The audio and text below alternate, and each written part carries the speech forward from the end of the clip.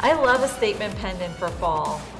In the fall, you're wearing chunkier sweaters, blazers, and this pendant was actually inspired by the view you see behind me.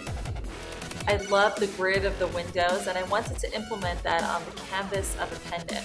I used black stones and black rhodium and I am very detail oriented and I put some little iconic clovers on the back side of the pendant so it's a double-sided pendant.